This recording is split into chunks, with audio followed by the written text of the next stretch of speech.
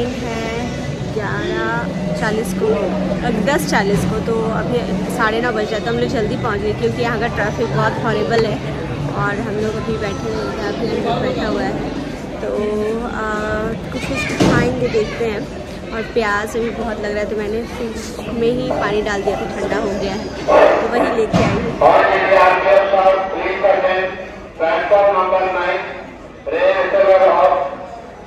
एक घंटा बचा हुआ है ट्रेन आने में और हम लोग वेट ही कर रहे हैं। बेंगलुरु की एक खासियत बताऊँगी दिन में जितना गर्मी रहता है रात तक बहुत आराम वेदर हो जाता है। तो अभी तो गर्मी नहीं लग रहा है दिन में बहुत ज़्यादा गर्मी था। और यहाँ पे Aniruddh are you getting excited yes ये ट्रेन तो अच्छा है। हम लोगों ने फ़र्स्ट क्लास भी बुक किया है और सोते सोते जाएँगे बट पहुँचा रहा है बहुत early around three thirty A M पहुँच जाएगा और हम लोगों का अपॉइंटमेंट लिया हुआ है आठ बजे। तो ज़्यादा दूर भी नहीं है मॉर्निंग में ट्रैफ़िक भी नहीं रहता है। तो अगर लास्ट वाला वीडियो आप लोग नहीं देखे होंगे तो बता दो। हम लोग जा रहे हैं चेन्नई, बेंगलुरु से चेन्नई। और वहाँ पे अनिरुद्ध का पासपोर्ट रिन्यू करना है। तो आप अगर सोच रहे हो कि पासपोर्ट तो कहीं से भी रिन्यू करवा सकते हैं बट यहाँ यूएस पासपोर्ट रिन्यू करवाना है। तो वो बस हम लोगों के सामने में चेन्नई से होगा, बेंगलुरु से नहीं होगा। तो अभी हम लोग वहीं पे जा रहे हैं और आज ना सुबह सुबह मतलब जब इसका स्कूल है तो बहुत अर्ली उठना पड़ता और मेरा आज सुबह से हेडेक भी था तो सर भी भारी हो गया था तो बहुत जल्दी नींद भी टूट गया था। बट ठीक है कभी कभी तो होता ही है। और बस बैठे हुए हैं, देखते हैं कब तक ट्रेन आता है। प्लेटफॉर्म नंबर जो पता करने के लिए गए हैं। उसके बाद हम लोग यहीं पे बैठेंगे। दिखा तो रहा है नंबर यहीं पे। होपफुली इधर ही हो। और Aniruddh what you want to say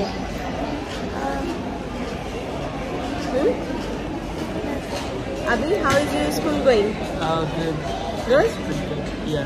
are you liking it या इट्स टफ और easy it's different then the studies but it's mix right yeah तो हाँ अलग ही फीलिंग है बट लेट्स तो चलिए आगे आगे देखते हैं क्या क्या होता है।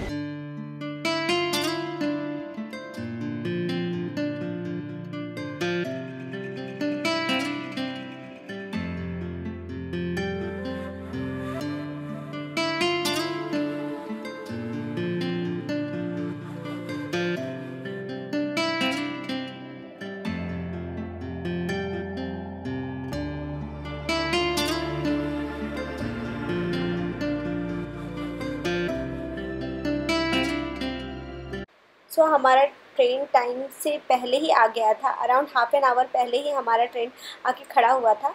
हमें पता भी नहीं चला था, फिर उसके बाद जब हम लोग देखे गौर से तो ये वही ट्रेन था जिससे हम लोग ट्रैवल कर रहे थे। तो अब हम लोग ट्रेन के अंदर आ गए और जो टाइम था साढ़े दस बजे के आसपास। तो अब जल्दी बैठ गए तो हम लोगों ने सोचा कि जल्दी जल्दी खाना खा लेते हैं। तो ये फ़र्स्ट क्लास का ट्रेन है, और फ़र्स्ट क्लास हम लोग ने बुक करवाया था, और मैं पनीर की सब्ज़ी बना के लेके आई थी, और रोटी बना के लेके आई थी। तो जल्दी जल्दी हम लोग खाना खा लेंगे, उसके बाद जितना जल्दी होगा थोड़ा हम लोग रेस्ट कर लेंगे, क्योंकि वहाँ पे फिर अर्ली मॉर्निंग को हमारा, जो है ट्रेन जो है, वो उतार देगा।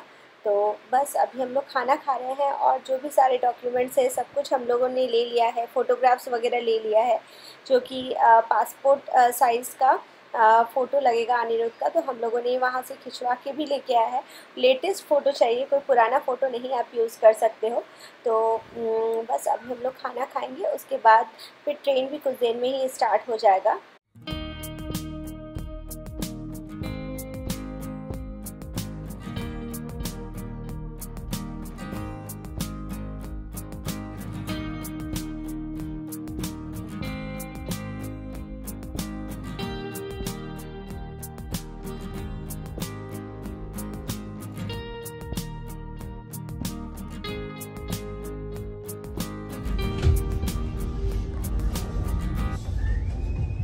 अनिरुद्ध यहाँ पे चढ़ गया पहले ही।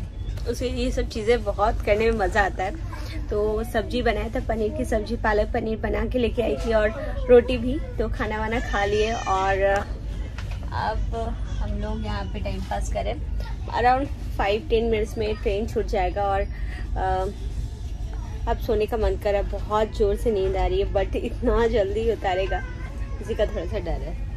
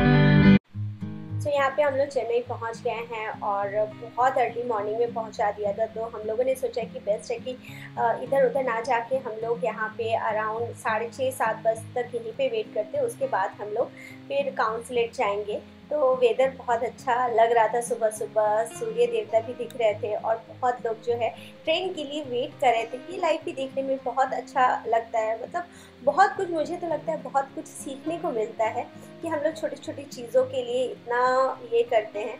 बट बहुत लोग इतनी सिंपल लाइफ जिस तरीके से जीते हैं, उन्हें देख के भी बहुत कुछ सीखने को मिलता है। तो अभी हम लोग ऑटो ले लिए हैं और यहाँ से हम लोग यूएस काउंसलेट जा रहे हैं चेन्नई में।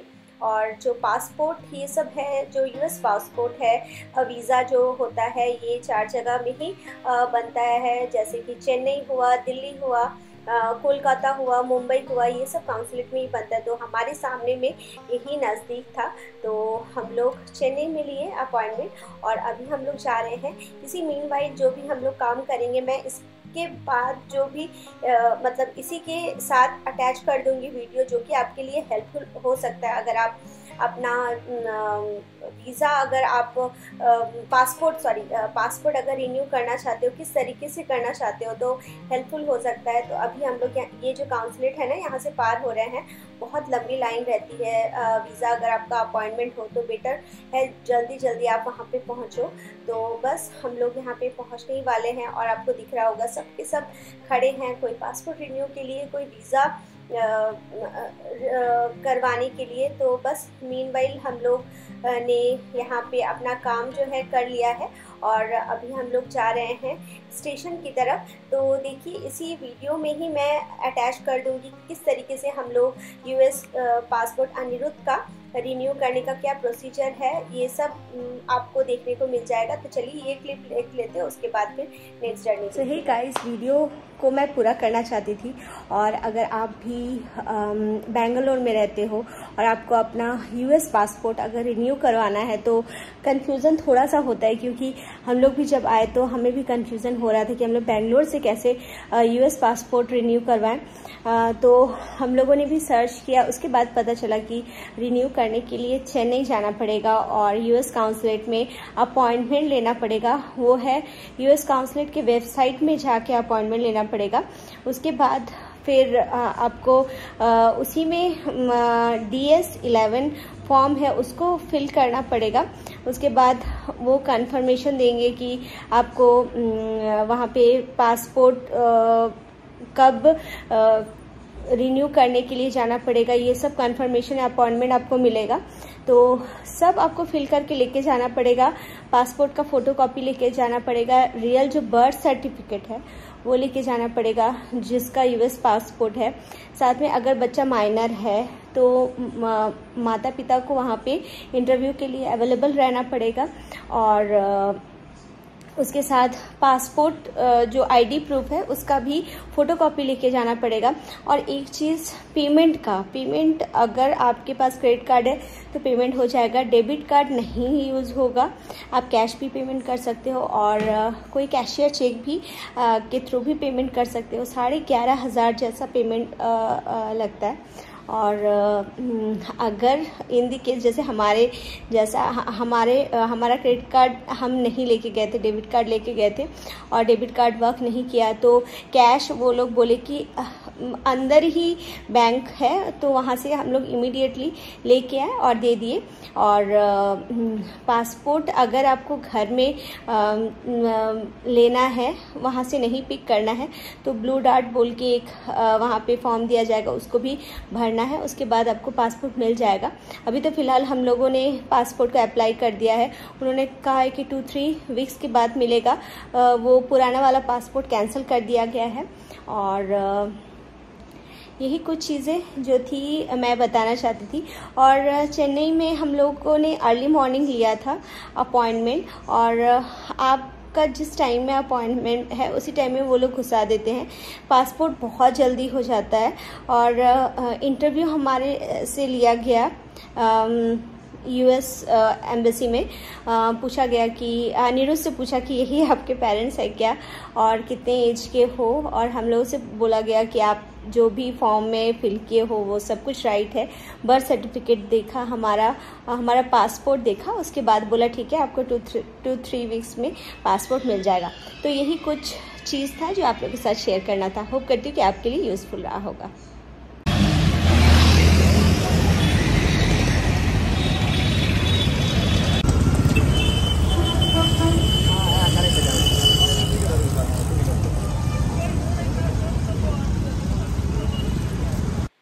सो हम लोगों का काम तो बहुत टाइमली हो गया था और हमारे पास टाइम भी था तो हम लोगों ने सोचा था कि चेन्नई में जो बीच है चलेंगे बट धीरे धीरे इतना ज़्यादा गर्मी और ह्यूमिडिटी बढ़ने लगा तो उज्जवल बोले कि छोड़ दो इस बार नहीं चलते हैं।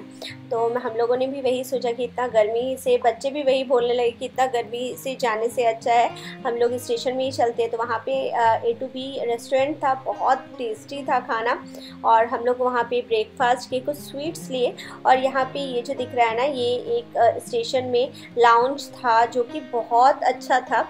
अगर आपका भी ट्रेन बहुत लेट तक मतलब लेट तक आपको वेटिंग करना है तो इस लाउंज में आप रह सकते हो, इस तरीके के लाउंज में। आई गेस सब स्टेशन में ही अवेलेबल होगा, वहाँ पे हम लोगों को चेन्नई में ये वाला लाउंज मिला और अभी का कुछ पढ़ाई बचा हुआ था तो वो भी वहाँ पे बैठ के होमवर्क लेके आया था, वो फिनिश कर लिया। और हम लोगों ने भी अराउंड थ्री आवर्स हम लोग रहे थे, जो कि पेमेंट हम लोगों का एक जन का चार सौ रुपया करके पड़ा सिक्सटीन हंड्रेड और कॉफ़ी और टी कॉम्प्लीमेंट्री था, जो कि फ्री था प्लस बाथरूम भी यूज़ कर सकते थे फुल्ली एसी था मतलब बाथरूम भी बहुत क्लीन था, यहाँ पे washroom shower room sleeping pod recliner ये सब था, और शावर रूम के लिए पैसे लग रहे थे स्लीपिंग पॉट के लिए भी पैसे, अलग से एक्स्ट्रा आपको पेमेंट करना पड़ा, पड़ रहा था।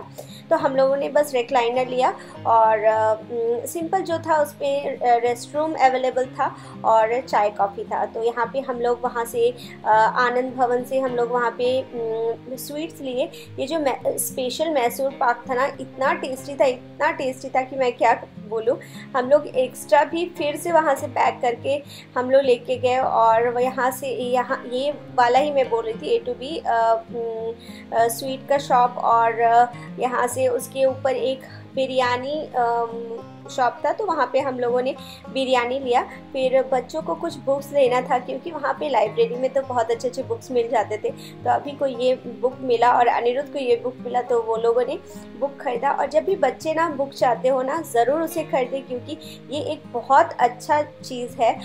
तो हम लोग कभी ये सब चीज़ के लिए मना नहीं करते बुक के लिए।